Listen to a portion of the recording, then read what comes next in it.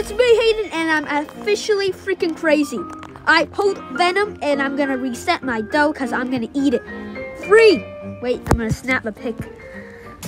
This is an unforgettable moment.